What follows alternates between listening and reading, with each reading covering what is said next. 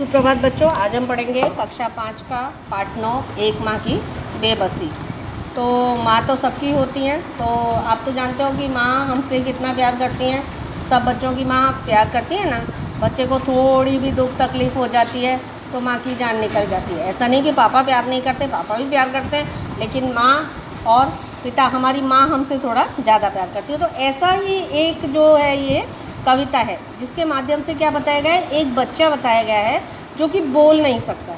तो उसकी माँ की जो छटपटाहट होती है मतलब दुख होता है, और वो अपने बच्चे के लिए कुछ नहीं कर पाती। कभी कभी ऐसा होता है कि हमारा किसी किसी जो ऊपर वाले ने दे रखा होता है, उस पर हमारा वश नहीं चलता। तो ऐसी ही ये कविता है। तो ज़रा मैं सबसे पहले कविता का ये पाठ का परिचय दे देती हूँ। इस कविता को पढ़ते समय आँखों के सामने कई चित्र बनते हैं। बचपन का चित्र, बचपन के खास समय, खेल और साथियों का चित्र। बचपन में हमारे फ्रेंड्स होते हैं तो उनका भी हमें याद आ जाती है, हम बड़े हो जाते हैं। तो उसके बाद कभी कभी हमें बचपन की याद आती है कि उन दिनों की हम कैसे घूमते थे, स्कूल में कैसे जाते थे, स्कूल में हमारे कितने सारे फ्रेंड्स थे। तो इसको पढ़कर हमें क्या महसूस होगा? जो कविता है, कविता धीरे धीरे पढ़ने की चीज़ है, उसे मन में उतरने में काफ़ी समय लग जाता है।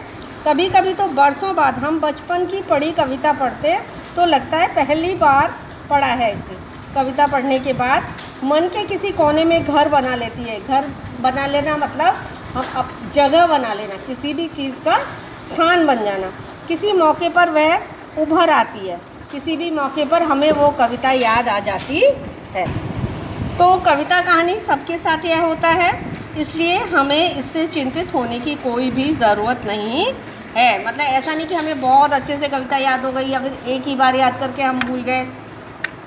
हमें कभी भी कविता याद आ सकती है या कभी भी आ, कोई भी कहानी याद आ सकती है। तो कविता को हम धीरे धीरे समझ पाते हैं। जैसे कोई भी कहानी होगी उसको हम जल्दी से कोई भी एक्सप्लेन करेगा तो हम जल्दी से समझ जाएँगे।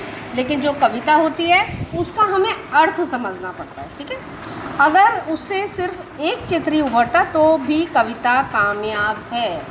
मतलब हमने बचपन में अगर कोई कविता पढ़ी है, कविता मीन्स पोएम कविता अगर हमने बचपन में कोई कविता पढ़ी है तो बड़े होकर अगर थोड़ी सी भी वो हमें याद है, या फिर उसका हमें सीन याद है, या उसका चित्र याद है मतलब हमने कविता को अच्छे से पढ़ा है। तो ये मैंने आपको परिचय दिया था। अब देखो, सब हम कविता पढ़ते हैं ज़रा। न जाने किस अदृश्य पड़ोस से निकल कर आता है वह खेलने हमारे साथ। रतन जो बोल नहीं सकता, खेलता था हमारे साथ। एक बच्चे का वर्णन किया है। छोटे बच्चे के विषय में बताया गया है, जिसका कि नाम रतन है। और क्या बोला गया है कि अदृश्य पड़ोस से। अदृश्य पड़ोस मीन्स जिसका कि मतलब इस बच्चे का कोई पर्टिकुलर घर नहीं है। फिक्स घर नहीं है। मतलब इतने गरीब हैं ये माँ बेटे कि ये कहीं भी रह लेते हैं। मतलब लेखक ये कहते हैं कि मतलब इसका कोई घर नहीं है कि ये इसका घर है, बच्चे का, वो इसका घर है, ऐसा हम कुछ भी नहीं कह सकते। दोनों माँ बेटे कहीं भी रह लेते हैं। खेलता था हमारे साथ एक टूटे खिलौने की तरह। देखने में हम बच्चों की ही तरह था, वह भी बच्चा। और बच्चे तो सब अधिकतर, जितने भी देखो तो बच्चे तो अधिकतर समान होते ही हैं सारे बच्चे अधिकतर समान होते हैं तो क्या है? सारे बच्चों को क्या करना चाहिए? सारे बच्चे अच्छे से रहते हैं, एक दूसरे के साथ खेलते हैं तो सारे बच्चे कैसे होते हैं?